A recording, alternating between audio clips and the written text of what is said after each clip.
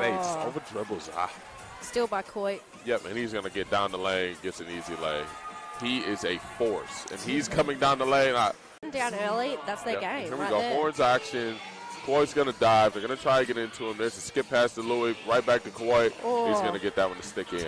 Now that he was uses his nice. very well once uh, he gets inside and he can get down the baseline. It's Kouat Here Noi gets him a post touch.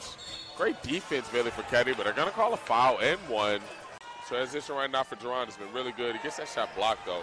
Burrow comes up with it, kicks it to Kouat. He's going to try and get in, gets his layup to go that time. Good situation. As we see, they're getting the ball inside to Kouat again, and he's going to get that layup. Duran trying to take the charge. Just too late, and he was in the charge zone. Yeah.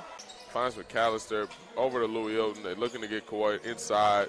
Billy's fighting, battling. trying to get position. Billy's being strong, staying solid.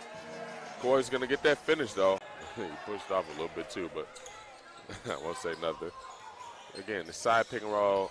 And there's Louis, who passes And- up a layup, gives it to Kouat. As we get ready for the remainder of this third quarter, they get it inside to Kouat. He's going to go over that left left hand hook and he's kicked it to Kouat.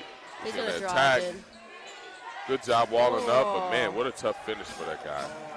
As you see Christian getting into that mid range, kicks it back out to Corey. Corey over to Kouat. Kouat's going to try and go to work here. Three point shot, and, And that's good. it. It's a miss from Dang, but 89 75, like eight and a half minutes as Kouat gets into the paint. There's going to be a foul on Dang and And one. Rip M1. City